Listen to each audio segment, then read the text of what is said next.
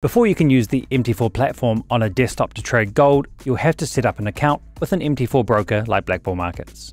Step 1 is to register. During the sign up process, opt for MT4 as your preferred platform, and set a password that you'll use when logging into the trading platform.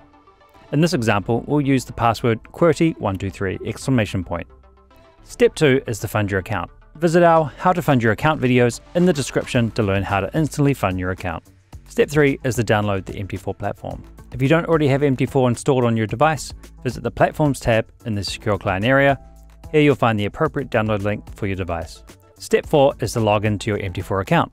When you first open MT4, proceed to log in to your new account by selecting the File tab and then click Log into Trade Account. Enter your MT4 trading account number that can be found in the Trading Accounts tab in the Secure Client area. Then input the password we set in Step 1 and choose the correct server, then click OK. Step 5 is to locate the gold trading symbol on MT4. If it isn't already in the MarketWatch window, you can add it like so. Click here and search for XAU USD, and then click it to add it to the MarketWatch window. Now drag and drop the XAU USD symbol onto the chart to see its charts view. Step 6 is to place your first trade. Click New Order in the top menu after selecting the trade volume, you'll find the option to input the stop loss and take profit values.